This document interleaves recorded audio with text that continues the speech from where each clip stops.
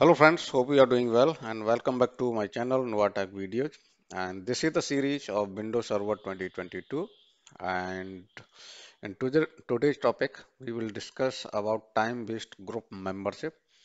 So we can add uh, the users into the group for timely basis. So let's proceed. So for this demonstration I have one server. This is my domain controller as well. So this is test.local domain and here we will create a group. So in this OU I'm gonna create one group for demo and it is going to be a security group. Uh, let's say HR. So this is the group name and I'll add a new user as well to test out.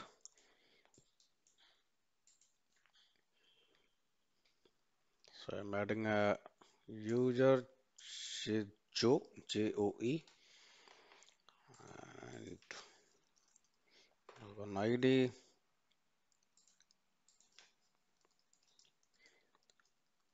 password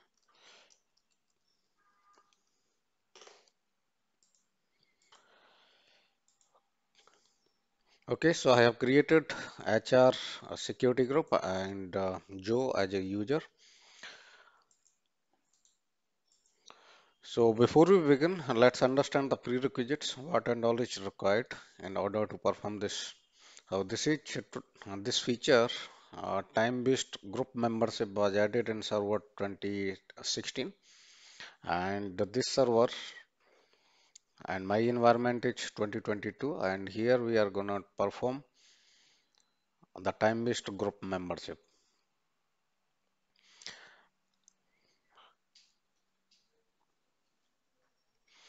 So the first requirement is the replication. So replication it's mandatory field here. So all the domain controllers in your environment they are replicating each other.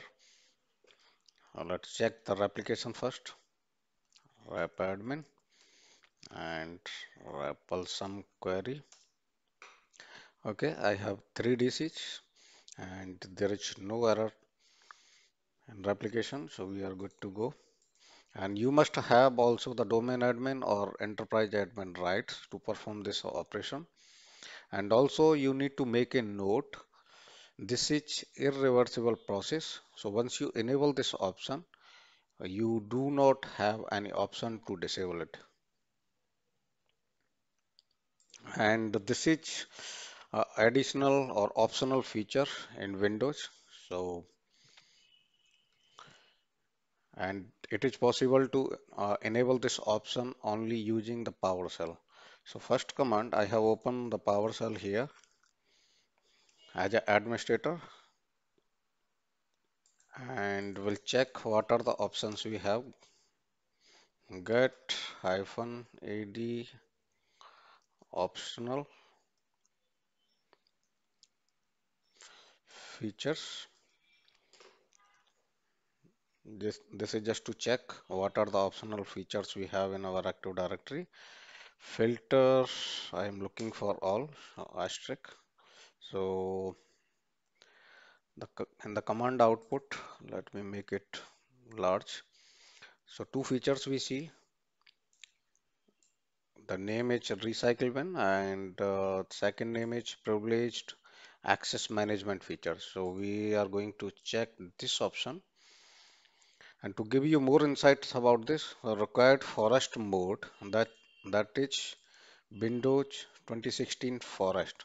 It means the forest functional level must be 2016 at least. So let's quickly check. So as we see forest functional level here that is Windows Server 2016 and uh, domain functional level is also 2016 so we are meeting to the requirement.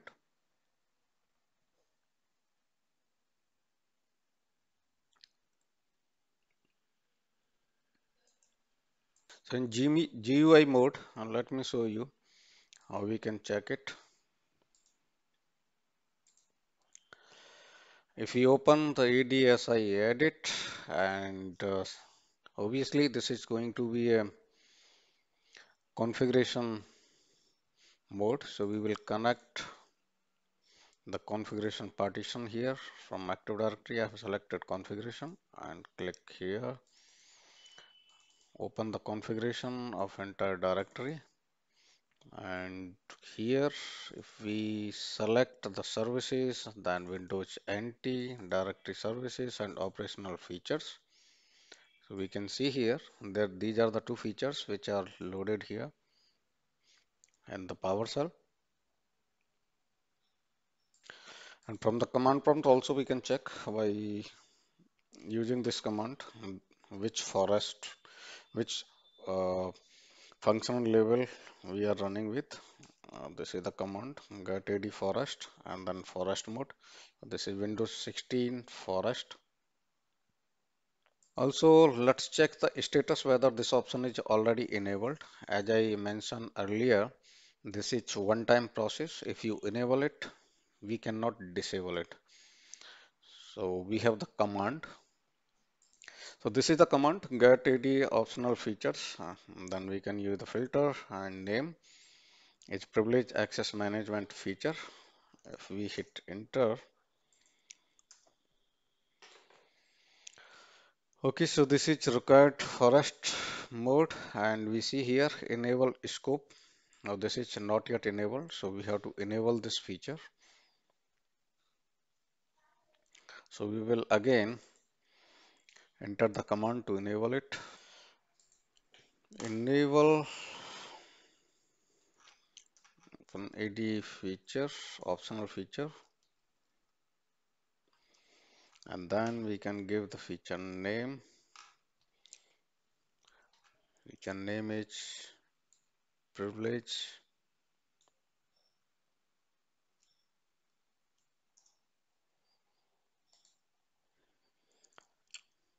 and then the scope scope scope is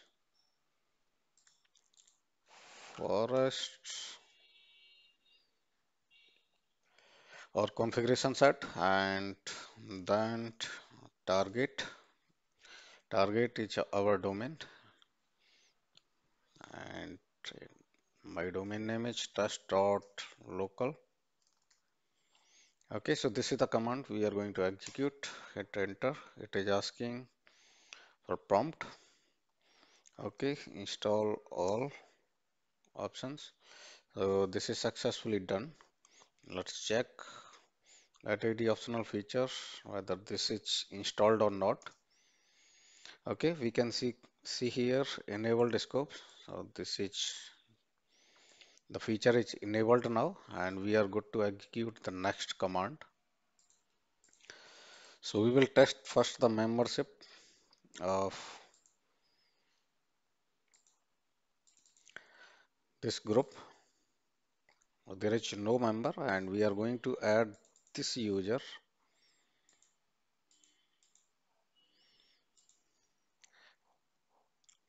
Into this group let's check via get ad uh, group member. Then we have to give the group name. Group name is hr as we see there is no member in it. Get let me run one more time. Ad group member and group name is hr oh, there is no group. That's why it is not showing anything here. And now we will add the members into it. The group name we have to give. HR is the group and Joe is the user okay so this is important uh, to understand about this new then time span the time span is uh, now set into the minutes but we can we can set to, to the hours or days here. So for now, I am just going to add for demonstration only for two minutes uh, user. This is the user Joe. And uh, later we will check for the hours as well.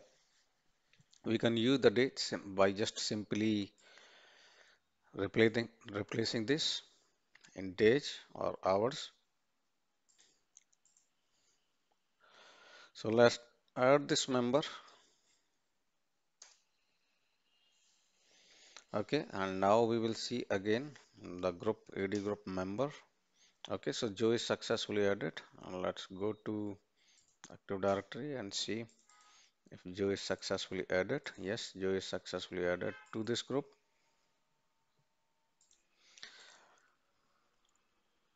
Okay, we will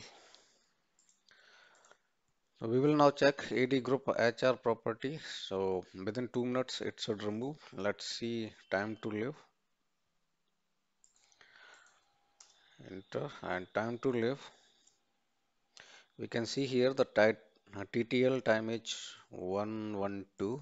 Let's so this is the command to check it. Get AD group, then the group name and property member. So member time to live for how long this group will this user will be part of HR let's execute one more time time should be reduced we can see 88 second now.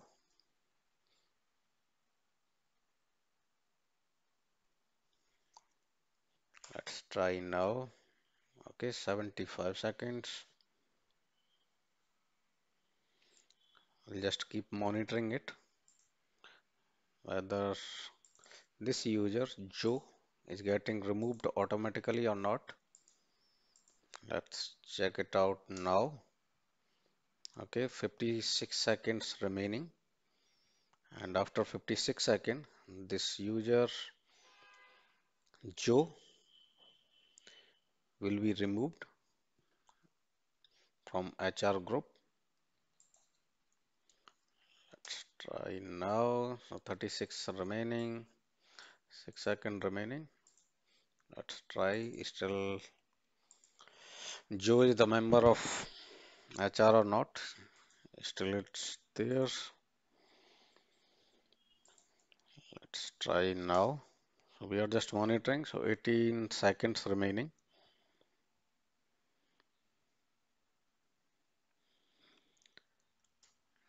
Let's try. 7 seconds remaining.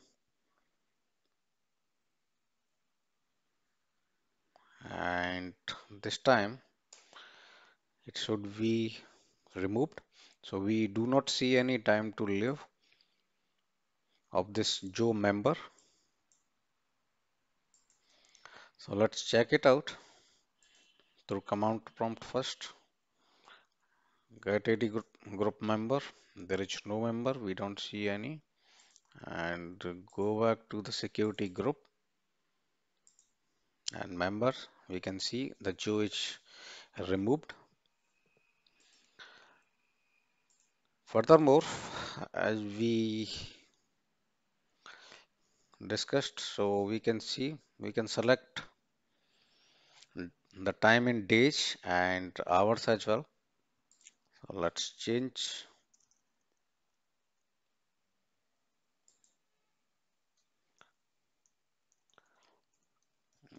HOURS okay so now the Joe member will be added into HR group for two hours or we can we can change it to days as well.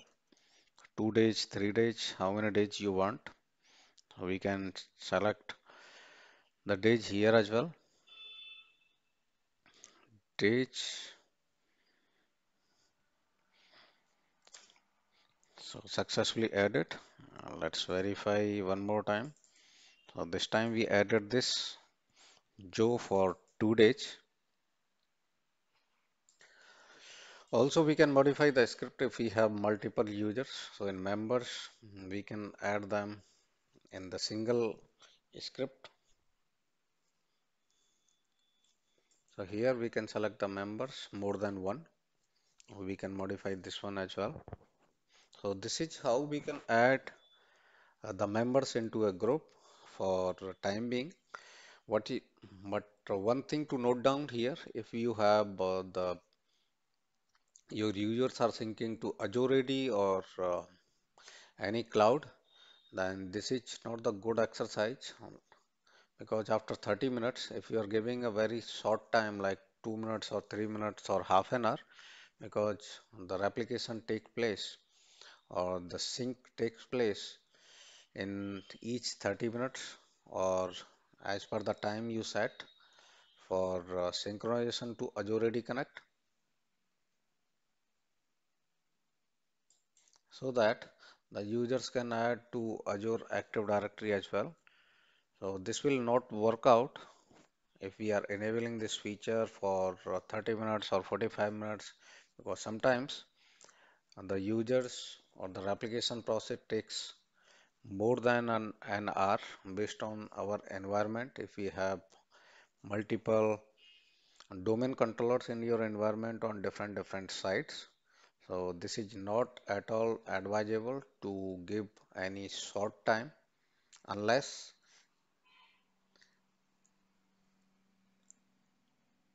you know about it. So still if there is any requirement to add any user for just uh, 30 minutes what you can do uh, to sync to Azure AD you can run the delta sync. So immediately the objects with changes that is sync to Azure AD so it can be more beneficial in day-to-day environment for administrators or AD administrators. And we can manage the time-based group membership here. If you want to if you want me to prepare a video to automate this uh, please leave your comments so I can I can automate the entire process so that you don't need to again and again do this uh, the PowerShell scripting. So that's all in this video. In the next video we will create the dynamic group as well they will be although also the time-based group and once the time is elapsed uh, the group will be by default removed or deleted. So let's catch up in the next video. And if you are liking my videos please do subscribe and share with your friends. Thanks for watching